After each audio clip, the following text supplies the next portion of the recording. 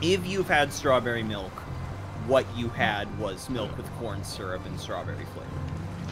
So like uh-huh. it's it's it's not that it's bad because it's not real strawberry because that's that's just how all strawberry milk. But that particular version of, of it is like not I'm not even sure I've had chocolate